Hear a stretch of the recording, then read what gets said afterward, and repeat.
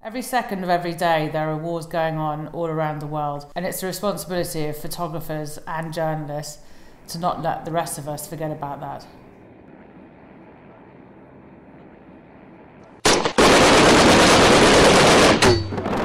We will not falter, and we will not fail.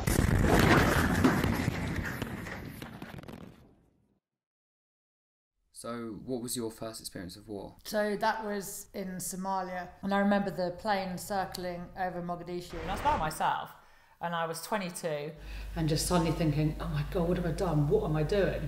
And we got into this Land Cruiser, and everywhere there were dead bodies. I, I was blown away by this. You know, I just thought, how can this be happening?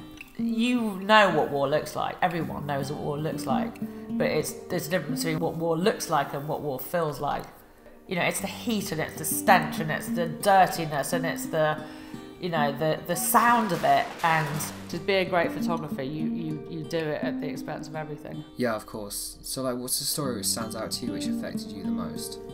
So there was this one story we did in Pakistan, which focused on a nine-year-old Christian girl who had been gang raped by Muslim men, and the, her father went to them and he confronted them and there'd been a murder that had happened like two or three weeks previously. The guy who was one of the rapists basically went to the police um, and said, "Oh, I know who did who was the murderer. It was the father." So it was a complete lie. The father had nothing to do with this murder. But because the rapist was sort of a well-respected Muslim, the police arrested the father. So I photographed the daughter. You know, I'm looking in this girl's eyes and I'm just thinking, "What the hell has she been through?" You know. And then we went in to this prison and we met the father. And the human rights lawyers are talking to the father and as they're talking, this tear just rolls down his face. However, the police are really fucked off that we're there. And because I'm so pregnant, I became a target and they started punching me in the stomach.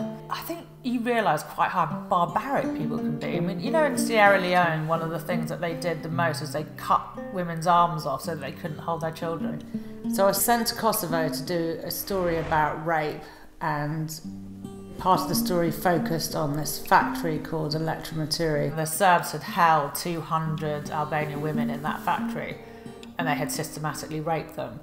The Serbs used to make the women comb their hair before they raped them, so in the market there were hundreds of combs. As a female photographer, it was incredibly painful to be in these places where such atrocities had happened. Because I couldn't see what it was I was photographing, I had to kind of put myself into the situation. Because you know, the thing with a camera is also that it's a physical barrier, so actually, in the worst situations, a camera kind of helps. So, what about some of the women that you met whilst you were in Afghanistan doing your stories there? Well, there was one woman called Zarguna who had a job in a university, and overnight the Taliban came into Kabul and they went on the radio and they said, you know, women, you've got to stay at home. In the morning, she got up, she went to work, and on the way to work, she was stopped by some Taliban and they said, you know, you're not ever going to work again, and if you come back here, we'll break your legs.